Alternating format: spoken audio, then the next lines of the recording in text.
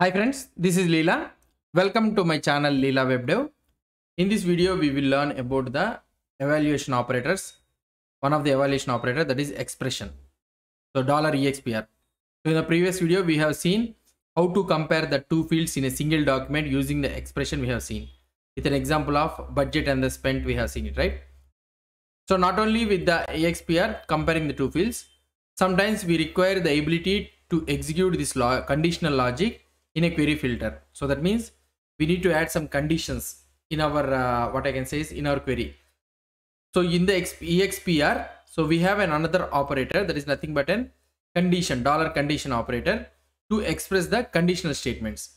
So by using the combination with the dollar $EXPR and the conditional operator, you can specify a conditional filter for your query statements. So in order to execute this one, to show you a demo, so I will try to take a sample collection and I will try to show you a demo. So let's say that I am creating a, let's try to move a little bit down. Yeah. So I am creating a supplies collection. So inside this collection, I will be creating a doc, some of the documents, something like, let's say that item. Okay. So I will be taking the item and in this item, let's say that I will be adding binder. Okay. So the quantity for this one is QTY is Mm, 100 let's say. And the price for this one is let's say 12 okay. So let's take another one. So with an item of notebook. Notebook and a quantity. I will try to take a quantity of something around 200 and i will try to add a price of something like 8 okay. Let's try to press enter. Let's take another two examples so this time i will take pencil okay? So these are the list of things which i want to add it. Pencil and the quantity for this one is only 50 okay? The price for this one is 6 take it as 6 and the another one what is i can take is eraser. I can add an eraser. And the quantities of this one is let's take it as an 150 and the price for this one is each one is 3 so let's insert one last one i will remove this one. So now one thing what i want to uh, add is pad and the quantity i have is a 42 okay? And the price for this one is each one is 10 so let's say that we have these type of supplies.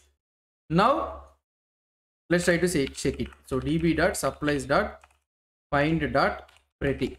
So i am checking the list of all documents so here you'll be able to see binder, notebook, pencil and eraser and pad which are having quantity and also the price. So this is the collection I'm having. So assuming that now I want to apply the discount for the prices such that how can I apply the discount is for example let's say that if a quantity is greater than 100 I want to apply the discount to the price of something like 0.5%. If a quantity is less than 100 so something like 50 or something like that okay so I want to apply discount of 0.75. So for example, if a quantity is 100 or greater than 100, I want to apply 0.5% of discount to this one. Okay, 0.5 discount means the price should be around 6, 6 rupees only. And if it is this one means I want to apply 0.75%. Okay. So before, so now I would, before applying the discount for this one, I would like to know which items in the supplies collection have a discount less than 5 so discount price less than 5 how, how many how many documents will be applied? I want to check it before applying the discount. So using this express express expr and the condition operators so we can calculate we can find out the documents whose discounts applied discount price is less than 5 okay for example let's say that here the discount if i applied so it is equal to 100 i will apply the discount of something around 0.5 so that means the price is 6 okay the applied uh, discount is 6 uh, 6 rupees. So that means it is not less than 5 so this one is discarded so here this is a 200 so the applied, price is will be around 6 rupees 6 rupees or something like that. So this one is uh, sorry. So 0.5 for this one it is 4 okay? So if it is 4 means it is less than 5 so i need to pick up this document. So like this whatever the documents which are for which the discount price is less than 5 it is applied means i want to extract those documents to see before the discount is applied. So what how can I apply is using the EXPR and the condition statement. So let's try to write the condition statement. First, if, uh, for example, to write the condition statement, I will try to create a variable in such a way that discounted price. Okay. So I am writing here so that you can able to understand clearly. So this is an object and here this one will take a condition. Okay. And in this condition, so what I can write is, so here we will need to write a condition. So in this condition, it will take three keys okay? Three keys that is nothing but what i can say is first one is an if. If means this is the condition i can write.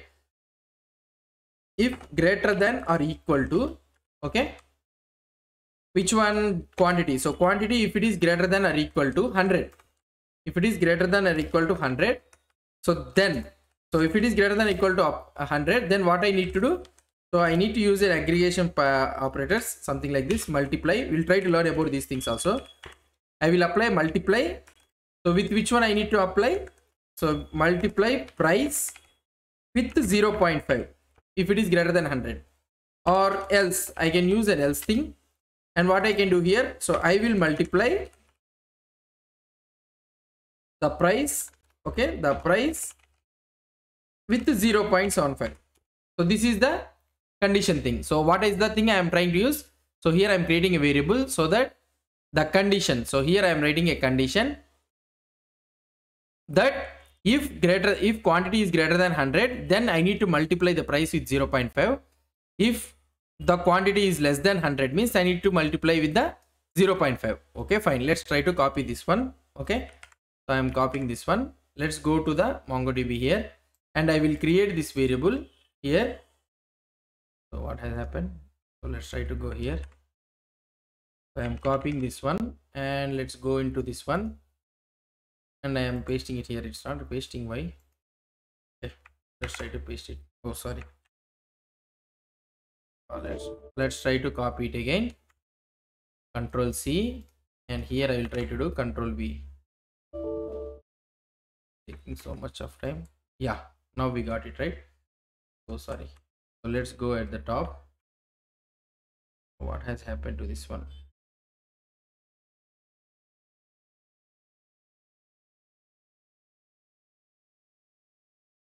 Sorry. Has went in such a way. Okay so here we'll try to write it again. So let's try to add let here. So l is missing right? So fine redeclaration of let okay. So it's taking something like that. So discount price is there. So discounted price it is already there. So we are adding a condition. Quantity 100 multiply something like that we are having condition.